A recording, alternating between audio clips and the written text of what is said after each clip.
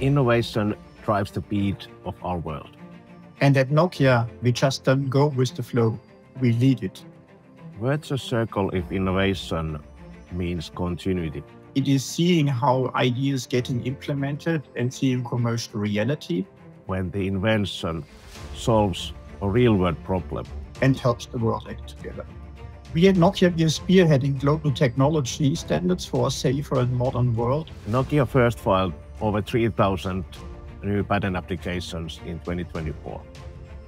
Patenting enables us to monetize the standardization and feeds in to further investment to standardization and research.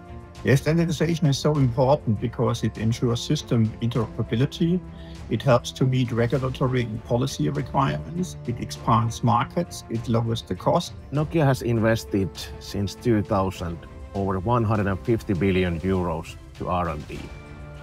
About 20,000 patent families, of which 7,000 have been declared to be essential to 5G. And that expands to wide variety of technologies from 3GPP, 6G, uh, multimedia, video codecs, audio codecs, Wi-Fi, and other technologies. I'm mostly proud that we have been given birth to several generations of wireless technology, helping to enhance societies and humanity.